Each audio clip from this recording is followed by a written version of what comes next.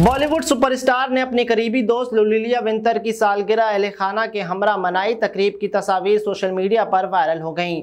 सलमान खान ने 24 जुलाई को लुलिया के लिए सालगिरह का अहतमाम किया। सोशल मीडिया पर सामने आने वाली तस्वीर में दबंग खान, लुलिया विंतर के साथ साथ अर्पिता, आयुष्मान, अलवीरा, अरहान खान और सल्लू मियाँ के दीगर फैमिली मेंबर और करीबी दोस्तों को देखा जा सकता है।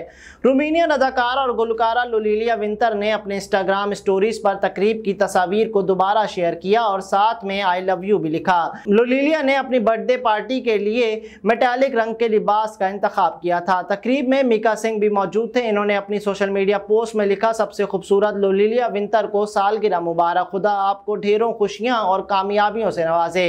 बॉलीवुड सिंगर मीका सिंह ने इस कैप्शन के साथ साथ इंस्टाग्राम स्टोरीज पर पार्टी में मौजूद दीगर अफराद के साथ अपनी एक वीडियो भी पोस्ट की।